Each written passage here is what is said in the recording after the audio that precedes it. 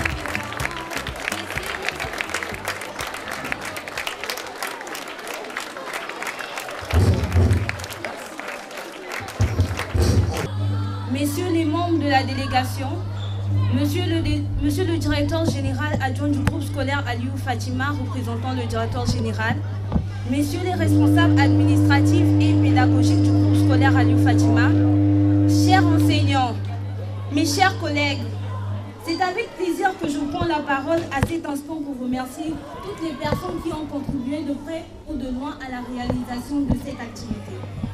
Madame, notre fierté est d'autant plus grande que vous avez accepté notre invitation malgré votre agenda très chargé. À cet effet, nous vous souhaitons à vous-même et à la délégation qui vous accompagne la bienvenue au groupe scolaire Aliou Fatima. Les élèves par ma voix vous disent encore une fois de plus Euh, Bonjour et bel après-midi à toutes et à tous. La Fondation congolaise pour la recherche médicale, dirigée par le professeur Francine Toumi, a organisé une conférence débat au profit des élèves du groupe scolaire Aléou Fatima. Objectif inciter les jeunes filles à s'adonner aux carrières scientifiques. Peu avant la conférence débat, les élèves du groupe scolaire Aliou Fatima ont peint le portrait de trois femmes de sciences africaines. Regardez. Muta est le nom de son père et Mataï est le nom de son mari auquel elle a ajouté un A après leur divorce. Ses parents étaient des paysans de la tribu des Kikuri, l'ethnie majoritaire du Kenya. Elle était la troisième de six enfants. À 11 ans, elle entra au collège Sainte-Septile, un pensionnat de filles, où elle se convertit à la religion catholicisme. À ses 16 ans, elle poursuivit ses études au lycée de filles Loreto à Limuru, dans les environs de Nairobi. Après avoir fini ses études secondaires, elle fut sélectionnée en 1960 pour le pont aérien de John F. Kennedy qui l'a permis d'aller en Amérique. À l'âge de 20 ans, elle fit ses études universitaires au Moussa Scholastica au Kansas. Sa principale matière était la biologie. Elle a été ensuite admise à l'université de Pittsburgh où elle fait sa maîtrise en biologie. Wangari Pata luttait contre, contre la déforestation à, à l'ou- à l'outrance et les pratiques agricoles non durables. Elle avait planté des arbres à grande échelle. Elle était élue aux communautés exécutives du Conseil national des femmes du Kenya, pris comme vice-présidente et présidente. Taille a remporté plusieurs prix, distinctions, titres et doctorats, à savoir le prix Nobel alternatif en 1984, le prix de Goldman pour l'environnement en 1991, le prix Nobel de la paix en 2004. Elle fut la première africaine à le recevoir. La, la Légion d'honneur à la France en 2006, le Grand Cordon de l'Ordre du Soleil, le vent du Japon en 2009.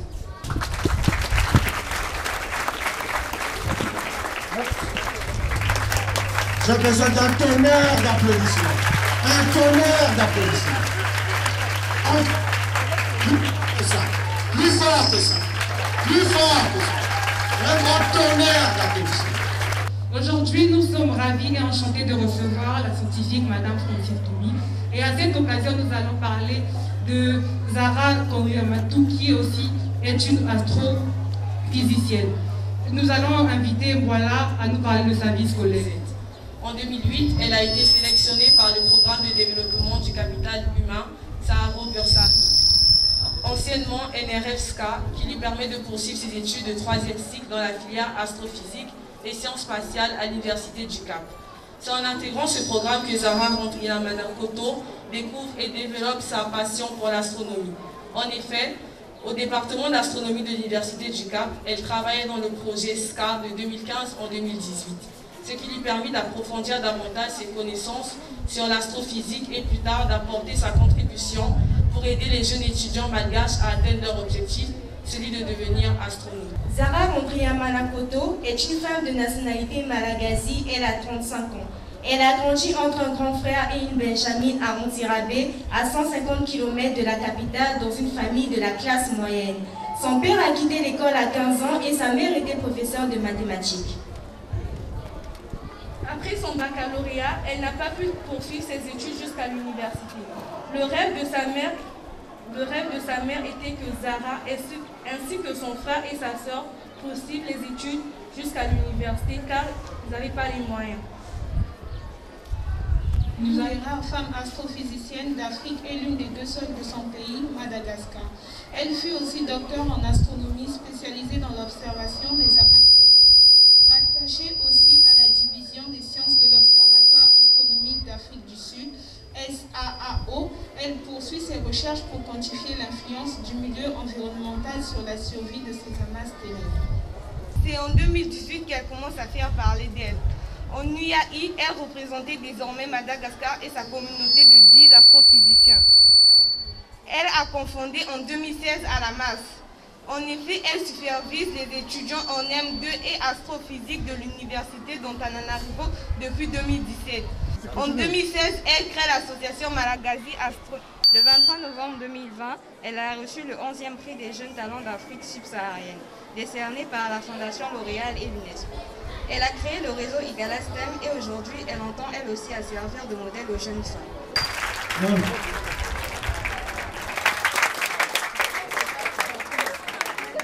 Mesdames et messieurs, bonjour. Nous sommes élèves en première scientifique. Je suis Elenga Lisa. Nous voici ici réunis pour une bonne raison.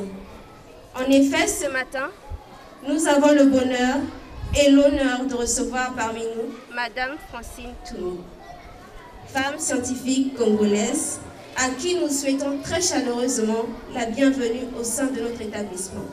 Sans plus tarder, je cède la parole à mes chers collègues pour nous parler de notre cher invité. Elle est née le 4 octobre 1961 à Brazzaville, en République du Congo. D'un père ingénieur électricien et d'une mère infirmière puéricultrice. Aînée et seule fille d'une famille de six enfants, elle est mère d'un seul garçon. Après un cycle primaire et le début de son cycle secondaire à Brazzaville, à 15 ans, elle est encouragée par ses parents à poursuivre ses études en France où elle obtient son BPC en 1975 et son baccalauréat en 1978 au lycée Marie Curie de Sceaux. En 1989, elle est titulaire d'un diplôme d'études approfondies en biologie. Puis en 1992, elle obtient un doctorat en sciences de l'université Pierre et Marie Curie. Tout d'abord, elle a travaillé à Franceville au Gabon comme chargée de recherche au Centre international de recherche médicale de Franceville de 1995 à 2000.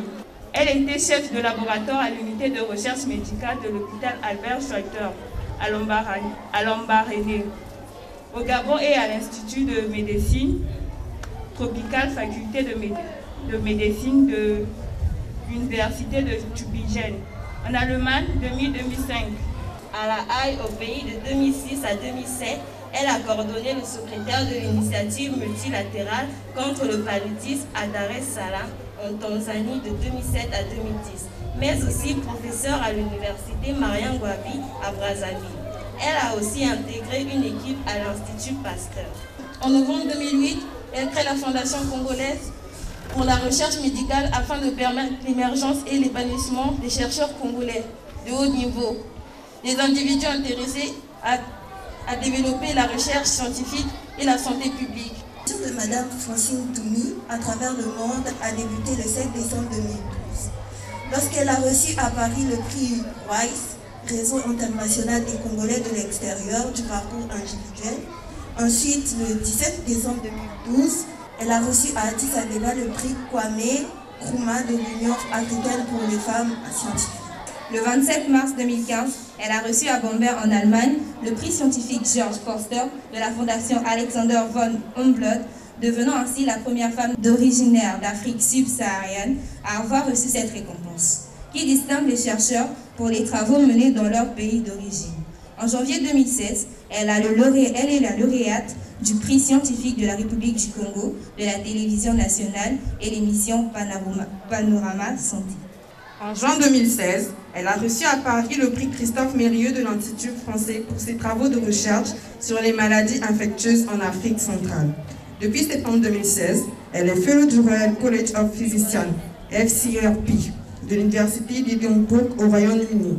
Enfin, en janvier 2017, elle reçoit dans son pays la distinction d'officier dans l'Ordre national de la recherche scientifique. Évocateur, c'est tellement évocatif, c'est tellement admirateur, c'est tellement admiratif, c'est tellement appréciable que je ne peux pas retenir mon émotion. Au nom du chef de l'État, donc, je suis officier de l'Ordre du mérite congolais.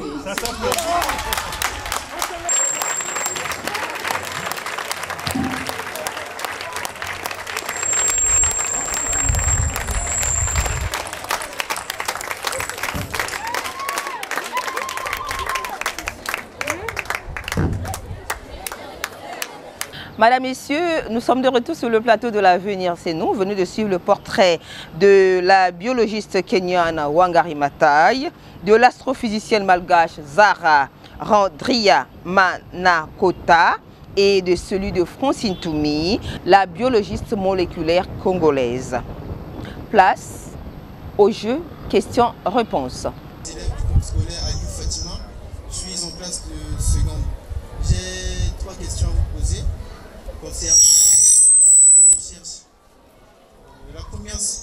La suivante. Quel était votre but dans la création de la Fondation congolaise de la recherche médicale Pourquoi je l'ai créé Euh, Parce que j'en avais besoin.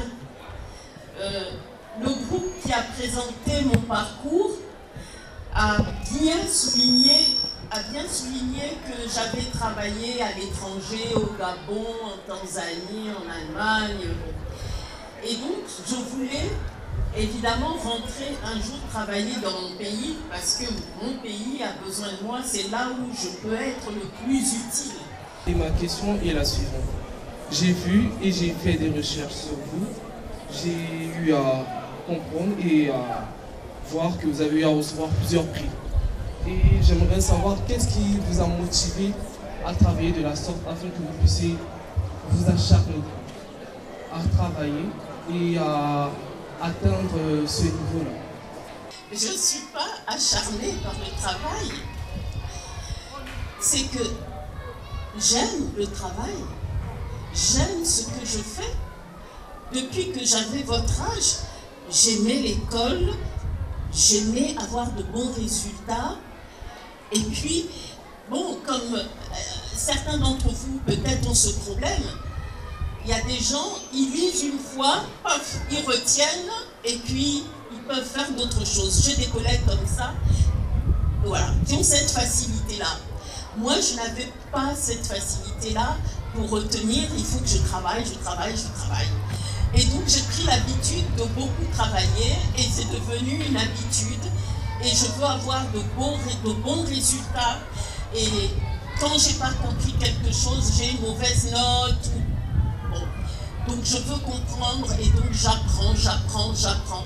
Et dans mon métier, la science, c'est un métier où on n'a pas honte de dire que je ne sais pas. Il y a des questions. Ce n'est pas une honte de dire je ne sais pas. Et la science, c'est ça. C'est pour ça que le monde progresse. Parce que justement, le scientifique, il a envie à chaque fois d'aller plus loin. Il est toujours insatisfait. Il veut améliorer les choses. Et il y a beaucoup de choses qu'on ne sait pas. L'univers, le monde est tellement complexe. Il peut nous apprendre tellement de choses. Toute la vérité du monde est autour de nous, mais on ne l'appréhende pas, on ne la connaît pas. Elle est pourtant là autour de nous. Mais ça veut dire que il faut encore travailler, travailler pour mieux comprendre notre environnement, pour mieux vivre dans notre environnement. Donc, voilà. Donc, mon métier m'oblige à travailler tout le temps parce que tous les jours, je me dis que je ne sais pas, je ne sais rien. La connaissance n'est pas suffisante. Et donc, je suis obligée de travailler, peut-être jusqu'à ma mort, peut-être je vais travailler parce que je me rendrai compte que je ne sais toujours pas assez de choses. Voilà. La première question est la suivante. Pourquoi vous vous êtes spécialisé sur le paludisme? Alors, je me suis spécialisée sur le paludisme. Alors, je me suis juste posé une simple question. Ceux qui ont présenté mon parcours ont mentionné que j'avais fait mon baccalauréat en France, que j'avais continué mes études universitaires en France jusqu'au doctorat. Mais je vais vous dire une chose, jusqu'à jusqu'à ce que j'ai mon doctorat, c'était pas très clair. Je ne sentais pas encore, mon cœur ne battait pas 100% dans une direction claire. Je savais que je voulais être au laboratoire, euh, que je voulais faire de la recherche, mais c'était pas très clair. Bon, tu veux travailler sur une maladie. Bon, quelle est la maladie qui tue le plus au Congo C'est le paludisme. Ok. Bon, j'aime, ok, je veux travailler sur l'ADN, l'ARN et le paludisme. Ok.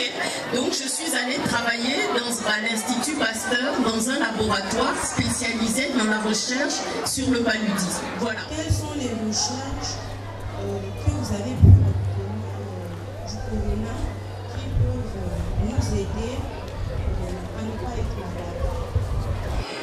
à savoir que quand ici on voyait des gens qui avaient beaucoup de coronavirus, une charge virale importante, les symptômes, la manière de présenter la maladie n'était pas la même.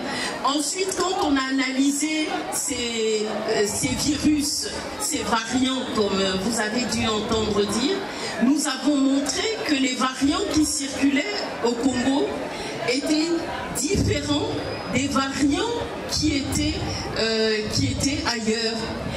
On a montré ce qui était très intéressant, le variant alpha, qui a été le premier variant brutal qui a, qui a causé beaucoup de morts aux États-Unis, euh, en Europe, qui est arrivé en Afrique du Sud aussi très présent, en Afrique centrale et bon, j'ai pas travaillé sur les dans les autres pays d'Afrique centrale, mais au Congo, on l'a vu arriver le variant alpha et on s'est dit mamma mia, ouh, ça va cogner là.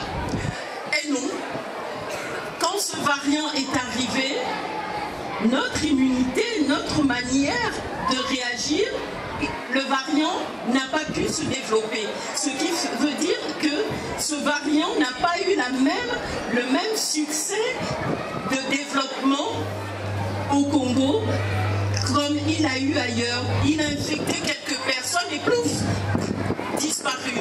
Par contre, il y avait un autre variant, dit variant congolais, qui, un variant qui s'est adapté, on l'a on l'a montré, qui s'est adapté à notre corps. Alors lui, par contre, il a pris le temps et beaucoup de cas de coronavirus étaient dus à ce variant et pas du tout au variant qui vraiment rendait très malade les autres. Et ensuite, il y a eu, quand le fameux variant Omicron est arrivé, nous l'avons aussi montré et on a aussi vu que ce variant, même s'il infectait beaucoup, n'était pas plus dangereux que les autres variants et nous continuons à travailler là-dessus. Par exemple, nous sommes en train là d'essayer de comprendre justement nos antiques, comment notre corps combat, a combattu euh, coronavirus et il y a des choses très intéressantes. Et pour tout dire, ce sont des jeunes, ce sont des étudiants, des garçons et des filles qui sont dans mon, labo, dans mon laboratoire, des jeunes qui travaillent dessus et qui ont des résultats extrêmement intéressants. Quel était votre but dans la création de la Fondation congolaise de la recherche médicale? Pourquoi je l'ai créée? Euh, Parce que j'en avais besoin. Euh, le groupe qui a présenté mon parcours a bien souligné a bien souligné que j'avais travaillé à l'étranger, au Gabon, en Tanzanie, en Allemagne. Et donc, je voulais évidemment rentrer un jour travailler dans mon pays parce que mon pays a besoin de moi, c'est là où je peux être le plus utile. Je, répondrai à la question épidémiologie moléculaire justement après, mais je suis biologiste moléculaire. Au laboratoire, c'est mon travail, biologiste moléculaire. C'est-à-dire que je travaille au laboratoire avec l'ADN, l'ARN. Vous tous, tous les individus, tous les êtres vivants sont constitués à partir de l'ADN et l'ARN. C'est comme euh, l'ADN et l'ARN, c'est comme le disque dur d'un ordinateur, mais l'ADN et l'ARN, c'est le disque dur de votre corps. C'est le disque dur de tout être vivant. Quand on prend son ADN et ARN, on sait tout sur cet individu. On n'a pas besoin de le voir. On peut avoir plein, plein, plein d'informations, même jusqu'à la couleur de ses cheveux, de ses yeux, de ses, comment la forme de ses oreilles, tout. Et donc mon métier, c'est travailler sur l'ADN et l'ARN, sur ce matériel génétique. Pour ceux qui sont en terminale, peut-être qu'ils ont entendu ce mot génétique. Voilà. Et donc, pour rentrer au Congo, il n'y avait pas de laboratoire de biologie moléculaire. Donc j'étais très embêtée. Et je me suis dit, bah, puisqu'il n'y en a pas, il faut que je crée ce laboratoire. Mais pour le créer, je ne suis qu'un individu, je suis une fille, enfin je, suis une femme. Un individu ne peut pas créer quelque chose, il faut qu'il mette en place une structure. Et donc j'ai mis en place la Fondation congolaise pour la recherche médicale, j'ai fait les papiers de la fondation, et la fondation a l'autorisation de mettre en place un laboratoire euh, donc de recherche. Donc, j'ai créé la fondation pour me permettre de mettre en place ce laboratoire de biologie moléculaire qui me permettrait de travailler au Congo. Ensuite, la question dans quel comité scientifique internationaux ou régionaux euh, dans lesquels je suis, dans lesquels je siège en Afrique. Alors, effectivement, en Afrique, je suis dans beaucoup de comités euh, d'experts. D'abord, l'OMS. Donc, euh, je sers dans un comité de l'OMS qui travaille sur la médecine traditionnelle. Euh, J'ai travaillé longtemps dans un comité de l'OMS qui s'occupait des vaccins. Ensuite, je suis aussi euh, dans un comité de l'Union africaine, dans deux comités de l'Union africaine. L'un, l'Africa CDC, c'est l'Africa CDC, le centre de contrôle des maladies. C'est un centre euh, mis en place par l'Union africaine et qui coordonne s'il y a eu une épidémie. Là, on a eu euh, euh, la Covid-19, euh, il y a eu Ebola, toutes les épidémies. C'est ce centre qui coordonne tout, qui achète les diagnostics, enfin qui coordonne toutes les activités. Mais ce centre a besoin d'experts pour les conseiller, etc.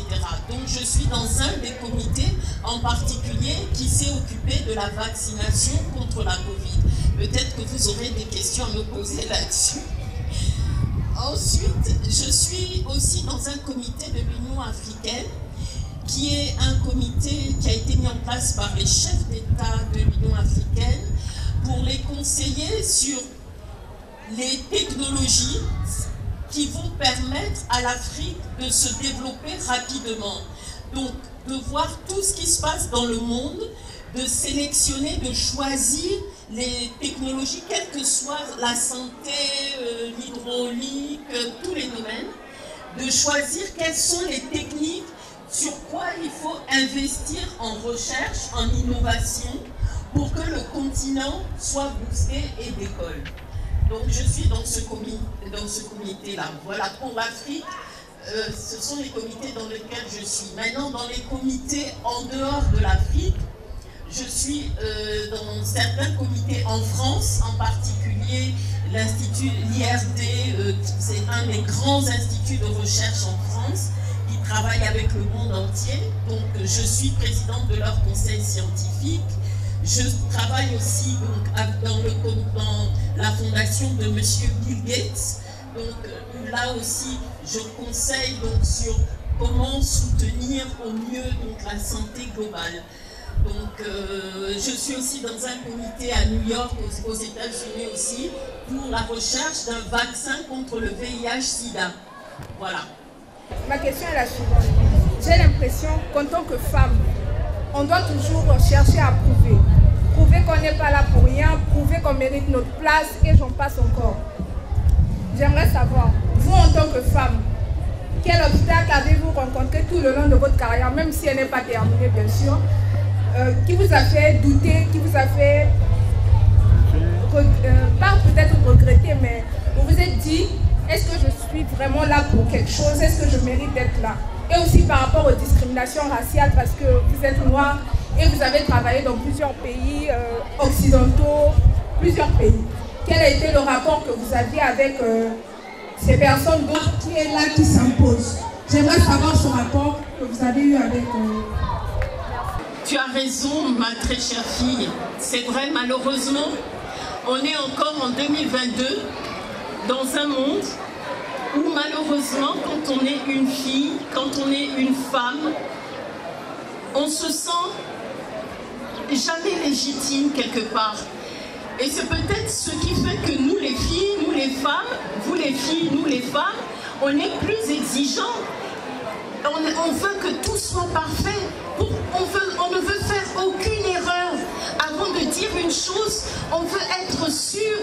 Mais parce que malheureusement, ce monde est très dur avec nous et que il fait beaucoup plus confiance à ce que dit un garçon, à ce que dit un homme.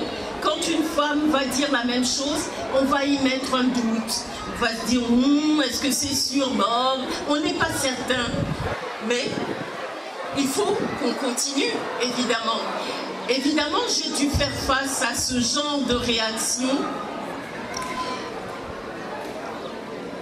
Évidemment, euh, j'ai eu ce problème de légitimité. C'est vrai que j'ai eu ce problème de légitimité lorsque j'ai été invitée à être dans des comités scientifiques, la question de tout à l'heure, dans des comités scientifiques prestigieux où il y avait waouh, des grands scientifiques avec des noms des prix Nobel. J'étais dans, des scientifiques avec des prix Nobel. Je ouh, moi, Francine Toumi, hein, je vais me retrouver avec des. Qu'est-ce que je vais. Mais j'ai pas assez de connaissances, mais quand on va discuter, il faut se dire que je suis bête. J'ai eu ces questions-là, j'ai eu des doutes. J'étais stressée, évidemment. Et, ce stress venait en fait du fait que au moment où on m'a appelée pour la première fois dans ces, dans ces comités, généralement j'étais la plus jeune, j'étais très souvent la seule femme noire. Quand il y avait d'autres hommes noirs, quelques hommes noirs, j'étais très très souvent la seule femme noire. Et ça, ça vous met mal à l'aise d'office, ça vous donne une responsabilité, ça vous met mal à l'aise. Donc j'ai eu pendant très longtemps, je l'avoue, je l'avoue, euh, beaucoup de... J'étais très angoissée, j'allais aux réunions, mais je n'étais pas très à l'aise au fond de moi. Mais bien évidemment, je ne le montrais pas. Je faisais celle qui était très à l'aise, euh, oui, qui répond là, mais ouh, bon. Mais, ah, mais dans le même temps, les autres, toujours par rapport à cette question, autour, les autres étaient bienveillants. Pourquoi? Parce que les autres se disaient tout simplement, si elle, elle est là autour de la table, waouh, c'est que ça c'est un petit génie. Donc, eux étaient dans un autre, dans un autre mode de fonctionnement. Eux aussi, dans le fond, étaient impressionnés et se disaient, Hum, bah, si elle, elle est là, waouh, bon, total respect. Donc ils avaient en fait beaucoup de respect. Euh, donc voilà, moi j'avais peur dans mon coin, mais eux aussi étaient dans le fond impressionnés. Et donc, euh, voilà, donc euh, c'est c'est difficile, c'est vrai. En tant que femme, on ne se sent pas légitime parce que la société nous est dur avec nous, mais il faut s'imposer et c'est ce que j'ai fait. Au bout d'un moment, effectivement, je me suis rendu compte que, les gens étaient bienveillants, même si les scientifiques se font la guerre, mais c'est des guerres euh, d'intelligence, d'arguments, mais pas des guerres de personnes. Donc, après, je n'ai plus eu ce problème. Mais je dirais que euh, toujours par rapport à la couleur de peau, c'est vrai, je suis dans des comités euh, euh, américains, européens où, bon, je, je suis, ma couleur est très visible, mais je n'ai jamais ressenti, en toute honnêteté, de racisme. Non, non, parce que la carrière scientifique, on prouve par le travail que l'on fait que l'on est bon. Et donc, les gens qui viennent, qui vous, vos collègues, savent ce que vous valez. Donc, même les collègues, blancs, vraiment, honnêtement, j'ai jamais, ah, jamais eu de problème. Jamais, jamais. Euh, je me souviens pas d'avoir eu un problème du fait que j'étais noire. Non, non, non. Au contraire, au contraire, ils savent le travail que je, que produis. Bon, point barre, point barre, et il n'y a pas de problème de, de racisme. Mais il y aurait eu un problème si moi, Francine, je me disais, aïe Francine, je suis noire, aïe, eux ils sont blancs, donc ils sont supérieurs à moi. Non, non, non, non, non, jamais, jamais, jamais, jamais. Je me suis, je me, jamais, jamais. On a la peau que l'on a à la naissance jusqu'à notre mort. Point, et on en est fier et j'en ai toujours été fière. Même en France, quand euh, j'étais plus jeune, à l'école, euh, quand je suis arrivée en France, les petits blancs se moquaient de moi, euh, ne voulaient pas jouer avec moi. euh, J'avais les cheveux tout crépus, on m'appelait le petit mouton, on me grattait les. Et puis ils fuyaient. Bon, à un moment, ensuite. Euh, bon, donc j'étais un moment isolée, personne ne voulait jouer avec moi. J'ai dit c'est bon, ok. Et puis quand j'ai commencé à avoir de très bons résultats en classe, les petits blancs alors commençaient à vouloir accepter de jouer, jouer avec moi. Euh, euh, Mais après, on m'avait donné un surnom, Roboana. Bon, Boana, c'est pour se moquer des Noirs, les Noirs Boana. Et robot, bon, parce que bon, j'étais assimilée à un robot puisque j'avais les meilleurs résultats.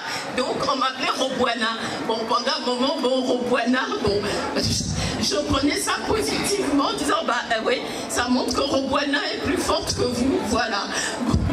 Donc, euh, voilà. Du coup, la première est comment arrivez-vous à concilier travail et vie familiale? Quand on est une femme, on a la femme déjà, on n'est pas, on n'est pas pareil évidemment. Avec les, garçons sont là, on n'est pas pareil. On ne sera jamais pareil. Nous, on, doit porter des enfants. D'enfants. Donc déjà, ça nous donne là aussi une responsabilité que les hommes n'ont pas. Donc, ce qui veut dire que une femme scientifique comparée à un homme scientifique, il y a un moment dans la carrière où on est, euh, voilà, on est ralenti parce que bah, la grossesse et que bah, il faut accoucher, on ne va pas accoucher dans un laboratoire. Donc, mais tout ça, évidemment, s'organise parce que le métier de scientifique est un métier aussi de liberté. Il y a beaucoup de choses que l'on peut faire de la maison, écrire des articles scientifiques de la maison, ce qui est très important. Donc, donc il faut là aussi ne pas considérer que c'est un point négatif, mais c'est la nature et c'est- c'est un point positif, mais il faut une organisation différente. C'est vrai qu'il y a une personne qui a dit dans mon profil j'ai un fils, j'ai qu'un fils, je dirais qu'un fils. C'est après, c'est vrai que j'ai regretté. Quand j'ai eu mon fils, j'étais j'étais en thèse, voilà, euh, voilà, donc euh, je, faisais ma, je faisais mon doctorat, puis je disais ouais après je ferai d'autres enfants, etc. Mais c'est vrai que j'ai pas eu le temps parce que je cours beaucoup et que c'est vrai que tout s'est précipité, ma carrière est, est allée à 100 à l'heure, vraiment à 100 à l'heure. Et je remettais toujours à demain, à demain, à demain, à demain. Et bon, si j'ai peut-être un petit regret, c'est j'aurais bien aimé avoir un, plus d'enfants, c'est vrai, mais ce n'est pas grave. Euh, J'ai un fils et c'est déjà quelque chose de merveilleux. Mais c'est vrai que mon, mon fils, bon, c'est un, garçon évidemment, a appris aussi, en que petit garçon, à s'adapter et à apprendre à faire les choses. Parce que maman, bah, avec la vie qu'elle avait, maman partait des fois le matin, sautait dans un avion. Des fois, il dormait même quand je partais. J'arrivais dans un autre pays. euh, à son réveil, je l'appelais, j'étais à l'aéroport d'un autre pays. Et bon, ah maman, tu es où là? Ah, tu es, ah, ok, bonne journée maman. Et il partait à l'école. Bon, maman est partie, euh, je sais pas où, en Italie. Bon, euh, voilà, il a appris à s'adapter avec une vie euh, de mobilité pareille. Donc, donc, euh, mais c'est pas que mon métier. Dans beaucoup de métiers maintenant, la mobilité est importante. Votre monde, peut-être que dans votre vie, vous allez avoir trois, quatre métiers différents. C'est- le futur. Vous pouvez commencer menuisier, ingénieur, euh, euh, pilote, pourquoi pas, dans une même vie. Ça va être votre cas. Vous n'allez pas avoir qu'un métier au cours de votre vie. Et ce qui veut dire que vos familles vont devoir s'adapter à tous ces changements. Euh, je suis admiratif de votre parcours et de toutes les distinctions que vous avez pu avoir dans, dans votre domaine.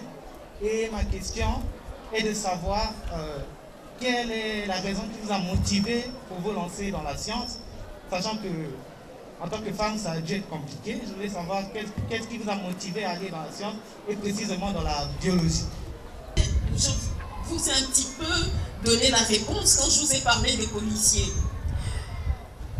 J'adorais, j'adore toujours lire des romans policiers.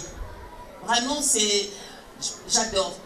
Quand j'avais votre âge, je lisais les, euh, les collections roses, les collections des adolescents, ensuite c'est passé collection verte, ensuite je suis passée aux romans policiers pour adultes. Donc j'aime regarder les films policiers, j'aime me poser des questions dès le début d'une enquête qui peut être le criminel. Donc ça c'est mon côté personnel. Et donc, quand il m'a fallu euh, trouver mon métier, mon premier choix, je euh, peut-être certains d'entre vous l'ont déjà entendu, mon premier choix, je voulais être pilote de ligne. Pilote de ligne, c'est-à-dire pilote d'avion, d'avion de passagers, de gros avions de passagers, je précise, parce que c'est ça ma passion. Et puis, malheureusement, je n'ai pas pu euh, le faire. Et donc, mon deuxième choix, j'ai regardé qu'est-ce que j'aimais dans la vie, c'était les romans policiers. J'aimais aussi la santé, mais je voulais pas être médecin. Parce, bon. Et donc, santé, enquête policière, ben, ça m'a amené à la biologie, la biologie moléculaire. Ah, Ce que j'attends de vous, ben, c'est que vous soyez fiers de vous, c'est que vous travaillez, c'est que vous preniez conscience que vous êtes importantes. Les filles, vous êtes importantes. Moi, j'ai commencé à rêver euh, pilote de ligne. J'étais au Congo, mais j'avais bah, l'uniforme que vous portez. Et je voyais les avions. Et en tant que petite fille, je rêvais en regardant ces avions. Donc, ce que j'attends de vous, euh, jeunes filles, c'est que vous rêviez, projetiez dans l'avenir. Donc, euh, alors ensuite, les travaux de paludisme, vaccin contre le paludisme, oui. Il y a un vaccin contre le paludisme déjà qui existe, qui est mis sur le marché, qui est vendu, qui va être euh, utilisé par les ministères de la Santé, mais ce n'est pas encore un très bon vaccin. Ce qui veut dire qu'il faut que la recherche continue pour avoir un jour un très bon vaccin contre le paludisme. Qu'est-ce que je dirais à une jeune fille en série scientifique et passionnée de littérature? Bah, Je lui dirais, ma fille, bah, tu es exactement comme moi. J'étais passionnée de littérature. Mes parents étaient fous parce que je dévorais les livres et je continue. Voilà. Et pourtant, je faisais des sciences, mais j'adorais et j'adore lire. Donc ce n'est pas du tout incompatible, du tout. Ensuite, conseil pour euh, poursuivre des études scientifiques.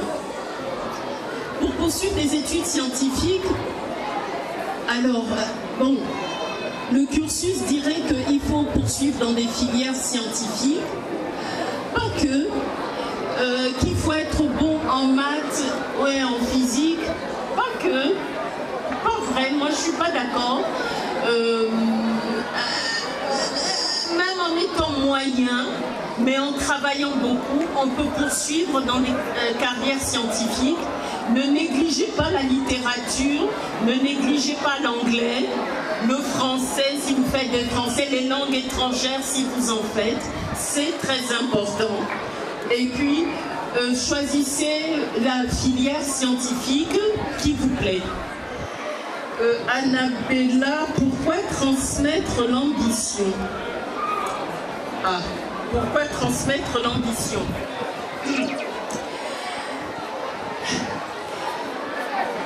Transmettre l'ambition, ça veut dire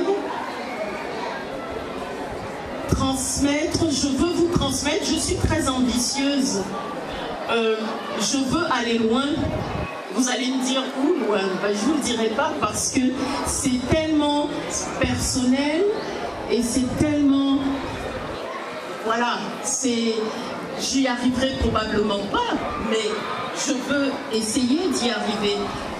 Voilà, c'est ça l'ambition, c'est se projeter le plus loin possible et se dire que je veux atteindre les étoiles. Je veux atteindre les étoiles.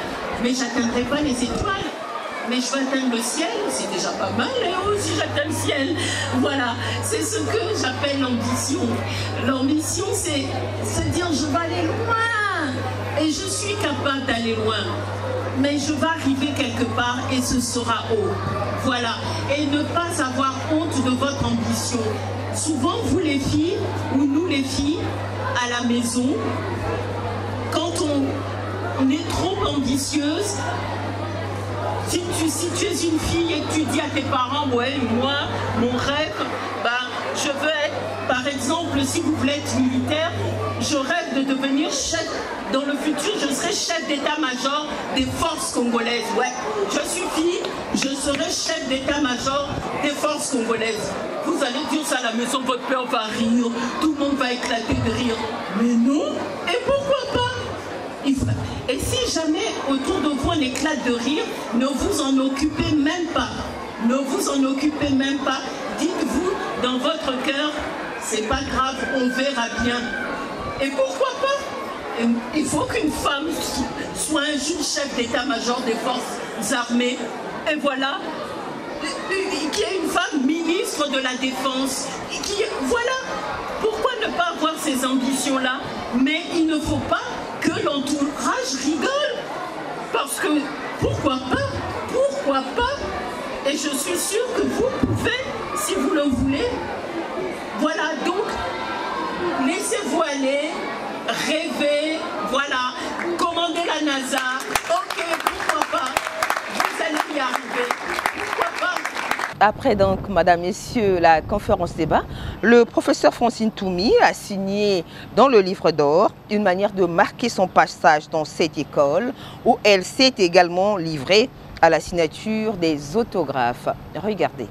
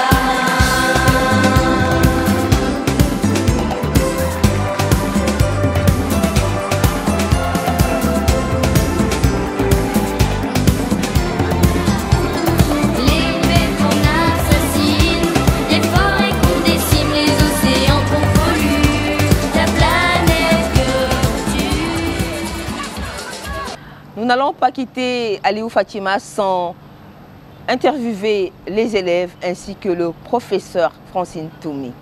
J'ai senti une telle chaleur, une telle, voilà, un tel besoin de d'écouter, d'apprendre et c'était un moment extrêmement émouvant. Je m'en souviendrai très longtemps parce que c'était très poignant.